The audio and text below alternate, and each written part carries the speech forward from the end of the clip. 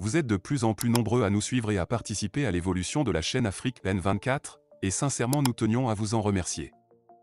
Nous lisons tous vos commentaires qui enrichissent le débat et vraiment nous vous demandons de nous soutenir, en aimant les vidéos pour une large diffusion, et pour continuer à avoir une ligne éditoriale indépendante, et vous proposer de nouvelles émissions toujours de plus en plus enrichissantes. Ne restons pas passifs, soyons actifs. Merci et à bientôt. Des chiffres flatteurs, une réalité amère. Le Togo face à ses contradictions économiques. Le 7 octobre 2024, le Togo a célébré sa position enviée dans le nouveau classement Business Ready 2024 du groupe de la Banque mondiale, qui le présente comme le troisième meilleur réformateur en Afrique subsaharienne et le premier en Afrique de l'Ouest. Une reconnaissance internationale qui aurait de quoi réjouir si elle n'était pas en total décalage avec la réalité amère vécue par la population togolaise. Alors que le gouvernement salue les progrès économiques, le panier de la ménagère est vide, les infrastructures sont en déliquescence et les classes moyennes s'effondrent sous le poids de la pression fiscale. Des indicateurs éloquents, mais trompeurs. Lors de la cérémonie de présentation du rapport, présidée par Dr Sandra Ablamba Johnson, secrétaire générale de la présidence de la République, et en présence de personnalités influentes telles que Rose Kayi-Mivdor, ministre du Commerce, et Christopher Ballier-Bileziri, représentant pays de la Société financière internationale. Les indicateurs étaient flatteurs. Le Togo excelle dans la création d'entreprises, le règlement des litiges commerciaux et l'amélioration des services d'utilité publique. Ce cadre réglementaire séduisant semble offrir un environnement propice aux affaires et positionner le Togo comme un modèle en matière de réformes économiques. Cependant, derrière ces chiffres séduisants, la population continue de subir une réalité difficile. La majorité des Togolais ne ressentent pas les effets des réformes économiques vantées par les institutions internationales. Le contraste entre ces résultats et les conditions de vie reste troublant, voire dérangeant. La crise alimentaire, des familles désespérées. Pendant que le gouvernement se félicite de ses performances économiques, la réalité pour beaucoup de ménages togolais est tout autre. Le pays traverse une crise alimentaire sans précédent, aggravée par une inflation galopante. Certaines familles, incapables de se nourrir convenablement, en sont réduites à fouiller dans les décharges à la recherche de riz avarié pour se nourrir. Cette situation choquante illustre à quel point les inégalités se creusent dans un pays qui se veut être un modèle de développement. Malgré les statistiques optimistes avancées par les rapports internationaux, le panier de la ménagère togolaise reste désespérément vide. Le pouvoir d'achat s'effondre et l'insécurité alimentaire ne cesse de croître. L'inadéquation entre les discours officiels et la réalité de la vie quotidienne est flagrante. La destruction des classes moyennes et la pression fiscale. Un autre point critique est la pression fiscale étouffante exercée par l'Office togolais des recettes OTR sur les opérateurs économiques. La classe moyenne, autrefois moteur du développement économique, se retrouve aujourd'hui en grande difficulté. Les petites et moyennes entreprises, qui constituent l'épine dorsale de l'économie togolaise, subissent les effets d'une fiscalité excessive qui freine toute initiative entrepreneuriale. Alors que les rapports vantent un climat des affaires favorable, les réalités économiques vécues par les entrepreneurs sont bien différentes. Beaucoup peinent à maintenir leurs activités à flot face à des taxes élevées et à une administration fiscale perçue comme répressive des infrastructures délabrées. Le quotidien des Togolais est également marqué par des infrastructures en déliquescence. À chaque petite pluie, Lomé, la capitale, se retrouve paralysée par des inondations, révélant la fragilité du réseau de drainage urbain. Cette situation est aggravée par des routes en mauvais état et des équipements publics obsolètes. Les écoles, en particulier, sont dans un état de délabrement avancé. Les bâtiments scolaires manquent d'entretien et d'équipements de base, ce qui nuit à l'apprentissage des jeunes générations. Pourtant, l'éducation devrait être une priorité pour un pays qui aspire à un développement durable et à une prospérité économique partagée. Une dette inquiétante. Alors que le gouvernement se targue d'un leadership économique efficace, une autre réalité inquiétante pointe à l'horizon. Le Togo est contraint d'emprunter chaque mois pour payer les salaires des fonctionnaires. Cette dépendance aux emprunts montre à quel point la situation financière du pays est précaire. En outre, cette tendance à contracter des dettes pour des dépenses courantes compromet la capacité du gouvernement à investir dans des projets structurants pour l'avenir du pays. Cette situation financière fragile soulève des questions sur la durabilité des performances économiques vantées dans les rapports internationaux. Comment parler de performance économique lorsque les finances publiques sont sous pression et que le pays doit emprunter simplement pour honorer ses obligations salariales?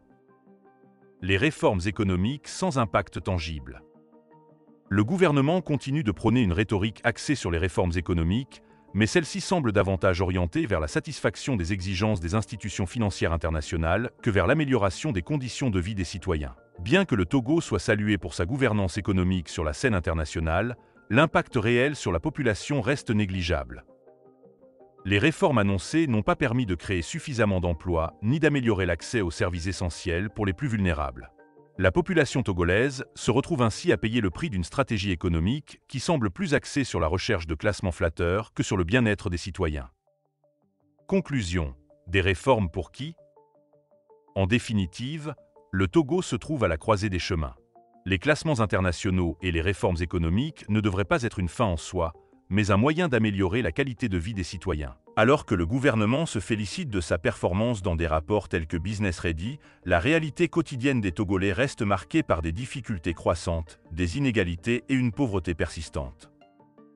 Il est urgent que les réformes économiques aient un impact réel sur la population en créant des emplois, en améliorant les infrastructures et en réduisant les inégalités. Tant que la réalité quotidienne ne changera pas, ces chiffres flatteurs ne seront que des illusions dans un pays où la majorité des habitants peinent encore à joindre les deux bouts.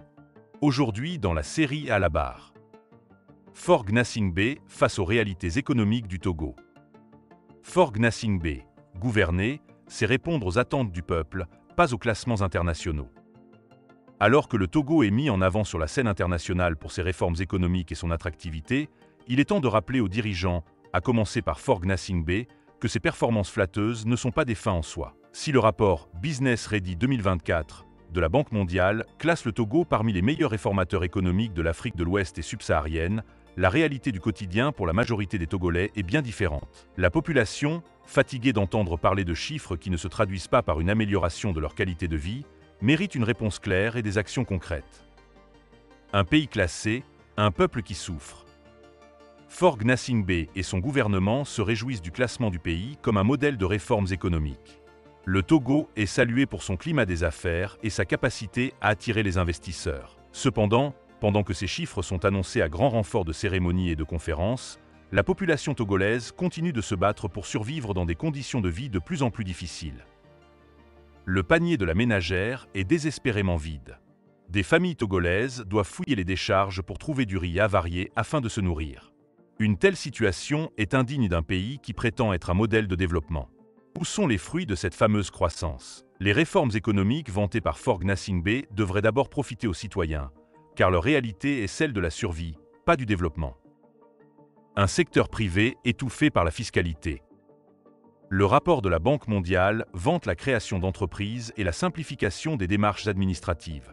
Mais sur le terrain, les opérateurs économiques peinent à prospérer. L'Office togolais des recettes, OTR, sous prétexte de renforcer les finances publiques, exerce une pression fiscale insoutenable sur les petites et moyennes entreprises. Fort Gnassingbé doit se rendre compte que cette situation étouffe l'initiative privée et freine la croissance. Il ne peut y avoir de développement économique sans une classe moyenne prospère.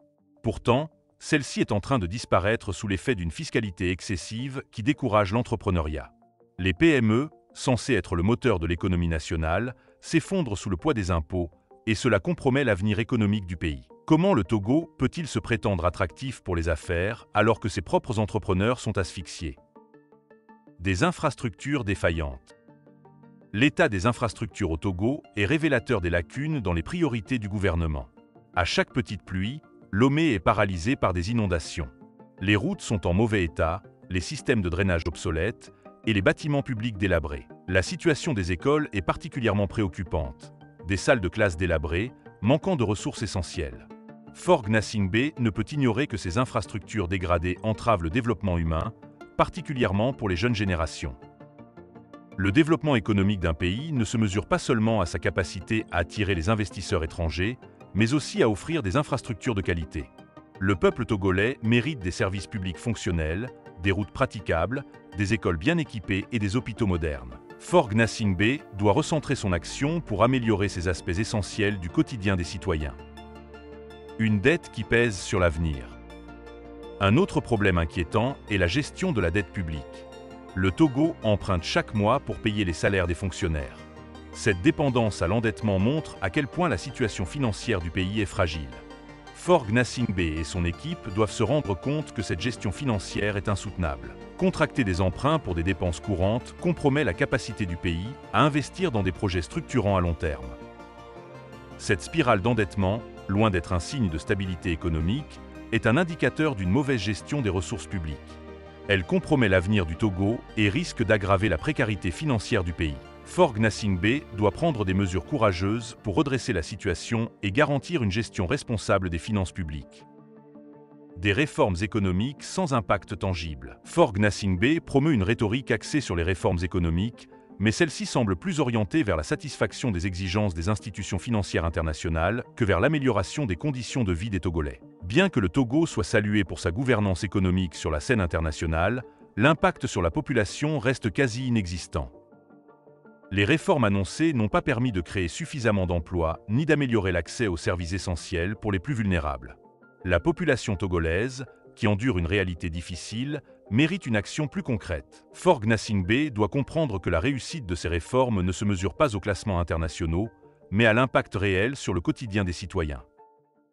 Des réformes pour qui? Fort Gnassingbé se trouve à la croisée des chemins. Les classements internationaux et les réformes économiques ne devraient pas être une fin en soi, mais un moyen d'améliorer la qualité de vie des Togolais. Le développement économique du Togo ne doit pas être mesuré uniquement par des chiffres flatteurs, mais par la capacité de chaque citoyen à vivre dignement. Les Togolais attendent de Fort Gnassingbé des résultats tangibles. Un marché alimentaire abordable, des infrastructures modernes, un emploi stable et des entreprises locales qui prospèrent. Tant que ces réformes ne se traduiront pas par une amélioration significative des conditions de vie, ces classements internationaux resteront sans valeur. Fort Gnassingbé a une occasion unique de rectifier le tir et de marquer l'histoire en tant que leader qui a su transformer des chiffres flatteurs en une réalité prospère pour tous les Togolais. Gouverner, c'est répondre aux besoins du peuple, pas aux attentes des institutions internationales. Likez la vidéo si ce n'est pas déjà fait. Laissez aussi votre point de vue en commentaire. Abonnez-vous et cliquez aussi sur la petite cloche de notification pour ne rien rater de nos prochaines vidéos. N'oubliez pas de partager aussi la vidéo et de la liker.